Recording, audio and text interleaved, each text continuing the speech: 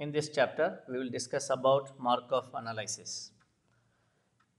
By the end of this chapter, you should be able to find out what will be the future states or conditions by using Markov analysis and what about what is called as steady state conditions. And we'll also discuss about absorbing states and non-absorbing states. So let us discuss this chapter in detail now. Markov analysis, it actually deals with the probability of future occurrences. So we know some probability now about the current known state and we want to find out what is the probability of something in the future. This can be applied for plenty of uh, computing as well as business and other problems like other applications.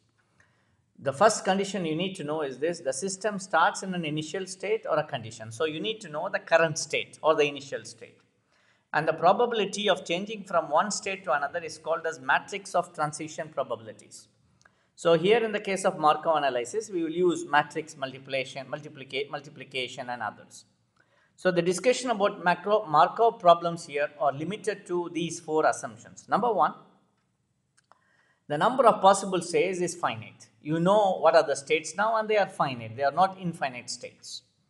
Number two, if you have to change from one state to another, it is same. That probability of going from one state to another remains the same over time. It will not change. This value does not change. And we can always predict your future state based on the current state and the matrix of transition probabilities. Point number four, the size and the makeup of the system do not change while you are doing your analysis. So let's start. What do you mean by states like? State mean it is a way by which you can indicate your current condition or any other condition of your system or of any of your situations in the system like or in the process. Markov analysis, it makes an assumption that all the states given to you are collectively exhaustive and mutually exclusive. The next step you got to do is to identify the probability of being in a state, of the system to be in a single state or a state. So information is placed in what is called as vector of state probability. So you represent it like this.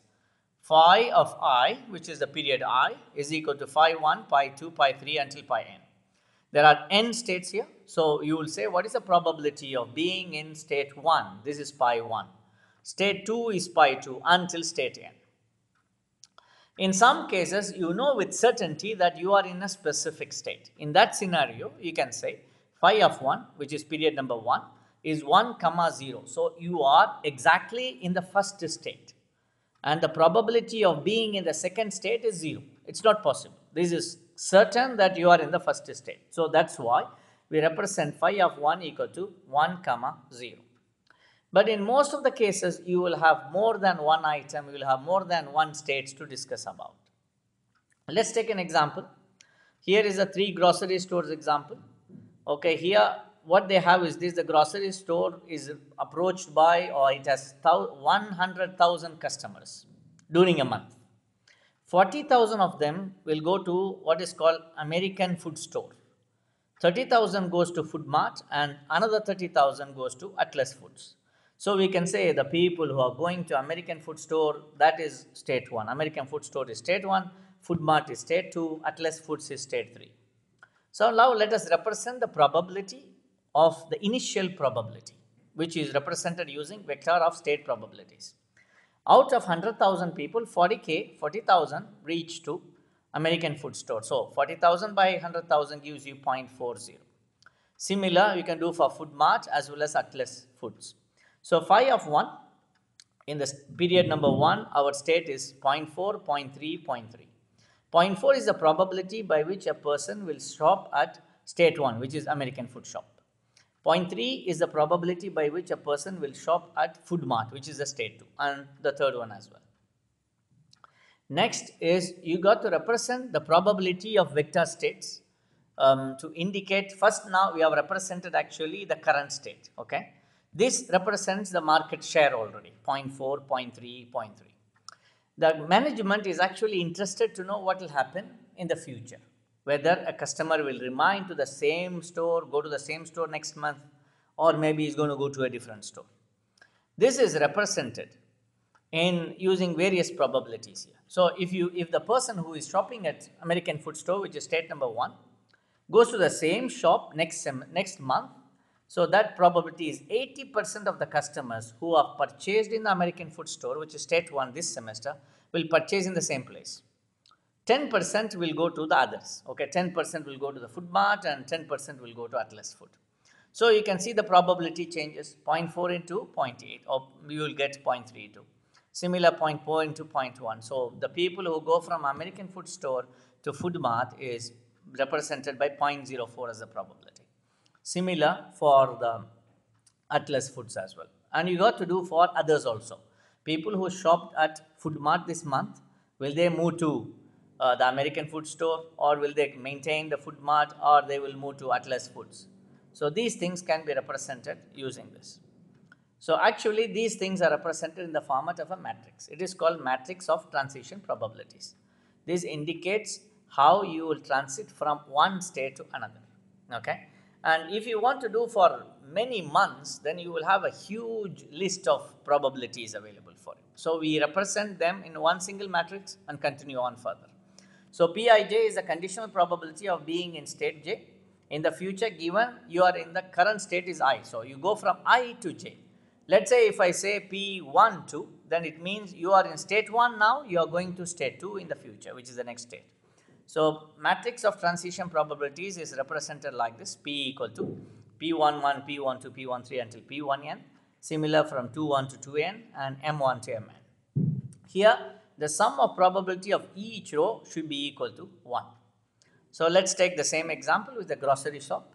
So P11 is 0.8, meaning the person who shopped at uh, state 1, which is American food, will remain to the same shop, will go to the same shop next month, which is 80%, so you represent it as 0.8 the person who shopped at American food store this month and he will go to the next state too, not in the same shop, that is 0.1, which is 10%. Similar, the third case is also 10%, so you represent it as 0.1.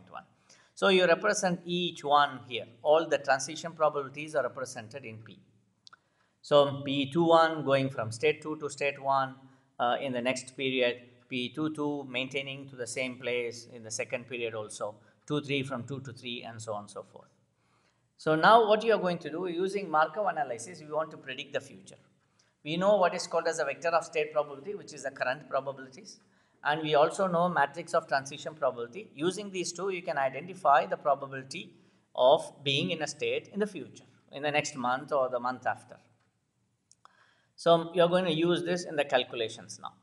Okay, so this probability will help you to determine how much will be the market share. So to do it, to, to predict the future, here is the equations to go through. If you want to find for a next period, you can say phi of 1 equal to phi of 0 into p. So if you are, let's say you are in the nth state now, phi of n, you want to find n plus 1 period of next period, phi of n plus 1 equal to pi of n into p. So you can calculate like this, pi of 1 equal to pi of 0 into p. So 0 is the initial state, let's say, 0 0.4, 0 0.3, 0 0.3. And you have the matrix, which is uh, the state of uh, transmission matrix, uh, transition matrix. So you just multiply 0.4 into 0.8, 0.3 into 1, 0.3 into 2, add them up. So you get the value. So the next state you will be in this. This is the probability of being in uh, the state 1, state 2, state 3 in, in the next period. So if you want to find the next level, the next one, you can do that also. Phi of 2 equal to phi of 1 to p. And you can continue like this uh, for the future. So if here, if you watch out, Initially it was 0.4 and the state 1 is increasing. State 2 is also increasing, but the state 3 probability is decreasing. So the customers going to the third market, which is Atlas Food, decreases. The other two supermarkets get increased. So you can do it like this, phi 1 equal to phi 0p. If you calculate phi 2 equal to pi 1p, you can represent it like it's equal to pi 0 into p square. So actually pi of n equal to pi of 0 into p power n. So um, you have to watch out. If you keep continuing, does that mean everybody will go to the American and the food market, a food mart and the um, food, uh, the Atlas one will not have anybody? What will happen? So what happens is this. It will keep continuing. It will change up to some extent. Then it will come to an equilibrium state or the steady state condition. After that, there will be no change in the probability. So how to figure out? Okay. So here we are taking an example of uh, Tolsky, Tolsky Works company. Over the past two years, 80% of the time, milling machines which work correctly this month will also function next month. Okay. So what worked before will work properly now, 80% of them. 90% of the time, the machine which remained incorrectly adjusted if it has been incorrectly adjusted in the previous month. If the previous month it had some problems, it is expected that this month also it will have some problems. Okay, 10%, what happens in the previous month it has some problems, but this month it will not have problems. So you have to represent them in uh, transition probabilities. 0.8, if it worked better, it will work better now. 0.2, if it worked better, it will not work better this month. 0.1, if it does not work previous time better, this, this month it will work better. And 0.9, if it does not work previously properly, incorrectly it worked, now also it will be incorrect. Remember, sum of probabilities of the rows will be equal to 1. Okay. So, these are the different states P11, P12, P21, P22. So, P11, P12, P21, P22. So, you can calculate if you want to find um, uh, phi of 1 which is for the next month let us say. You know initially the system is working fine. Let us say this is our assumption it is working fine. So, it is functioning correctly. Phi of 0 is 1 comma 0 multiply by the p you will get the answer.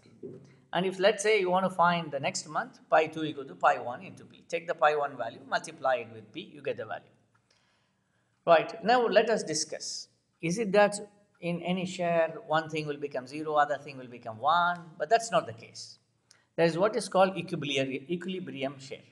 This is also called a steady state or equilibrium probabilities. What happens is this, when an equilibrium state comes into picture or equilibrium condition exists, state probability does not change after a large number of periods. It does not change, it will maintain.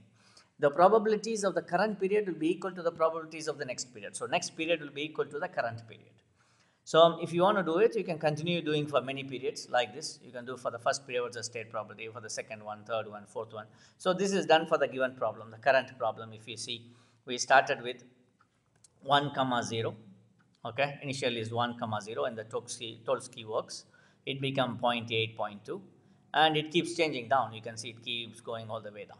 Okay? So if there is an equilibrium condition then the probability will not change after quite long number of periods. So if you want to do it phi of n um, n plus 1 equal to pi of n into p. This is our normal representation right? But at equilibrium pi of n plus 1 will be equal to pi of n. They will be the same. So the next state will be equal to the current state. So um, you can hmm. represent like this pi of n plus 1 equal to pi of n which is a representation. So pi equal to pi p it is the same thing. So if you want to calculate you can represent it like this pi equal to pi p which is pi 1 comma pi 2 there are only two states so pi 1 pi 2 they will remain like pi 1 pi 2 into p. So you can multiply inside you can multiply like this pi 1 equal to pi 1 into 0.8 plus 0.1 into pi 2. Similar you can make two equations here okay. When you come up with these two equations, also we know one more thing, sum of all probability should be equal to 1. So here we have only two probability, pi 1 and pi 2. So if you add pi 1 plus pi 2 equal to 1. So we have now three equations. The first two is this two and the third one is pi 1 plus pi 2 equal to 1. So you can replace um, any one in the other equation. Let's say we take these two, pi 2 equal to 0.251 plus 0.9 pi 2 and then we take pi 1 equal to pi 1 plus pi 2 equal to 1.